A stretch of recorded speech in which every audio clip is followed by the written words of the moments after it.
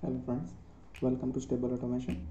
This is typical GPS time synchronization architecture where a time frame from a GTS, uh, GPS satellite is received by NTP server or a GPS master clock.